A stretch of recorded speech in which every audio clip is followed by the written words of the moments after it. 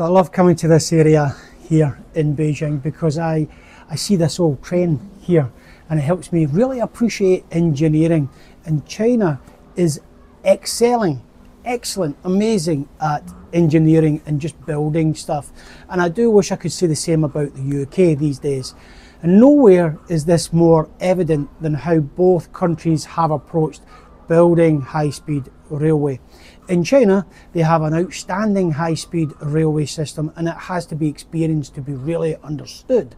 In the UK, the powerhouse of building railways way back in the day, around about the 1900s, that was the heyday for the British railway building.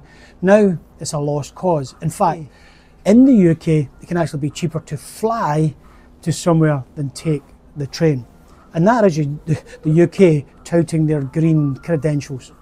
That's how bad it is on the West Coast Main Line at the moment. And it is significantly cheaper for me to fly to Manchester and back to see people in Liverpool than to get a train to Liverpool. So China now has 46,000 kilometres of high speed rail. And, and I've used it many occasions. It's amazing. Going from centre of one city to another city centre at about 350 kilometres an hour without feeling the train shake or move and doing so in relative comfort. I have travelled many a train journey and I've also travelled in business class and it is very convenient, very comfortable. I've travelled business class on some short trips in China and I've got to say that's a brilliant experience. One of the things I do like about travelling by train in China is that you see the price. You pick a class of ticket and that's what you pay.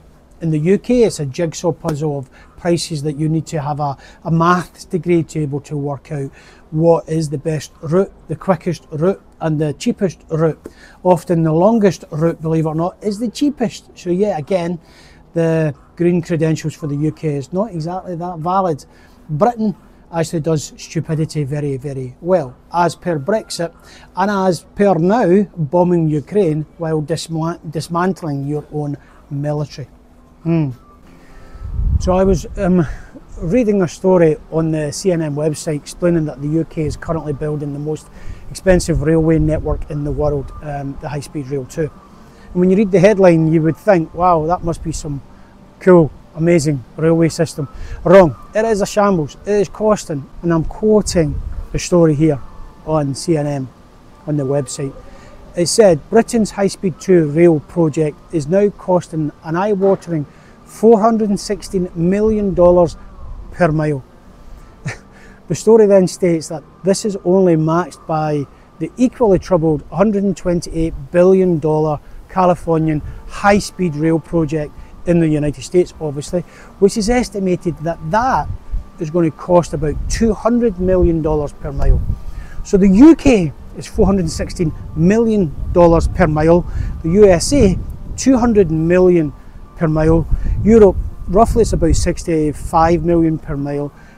How much do you think it is here in China for the high speed rail? It's, a, it's approximately 20 million dollars per mile. Now, all these figures are approximate because it is very difficult to calculate, but still, the difference between China and the UK is just astronomical. And I understand there are reasons for it, like the cost of land, etc. But there just comes a point in a project where you just might as well just call it a day. Oh, and by the way, China has a physical high speed rail network. It's there, I can see it, I can travel on it. It's amazing.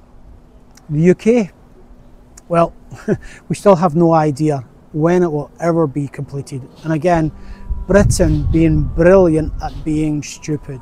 For me, the UK government, the policy, the choices that they sometimes make reflect the character in the new Penguin series. And by the way, if you have not watched that TV series yet, then I recommend it. It's called The Penguin. It's the best TV I have seen in years.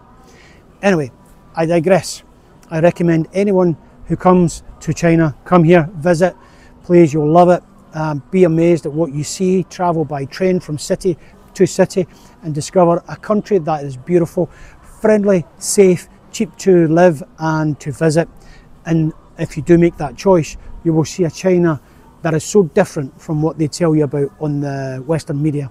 And if you actually take the time to read the story on CNN that I referenced, you will see that they managed to write a story about high speed rail, and in that story, they really didn't talk anything about the success of China. Now, for me, that is good engineering of the English language.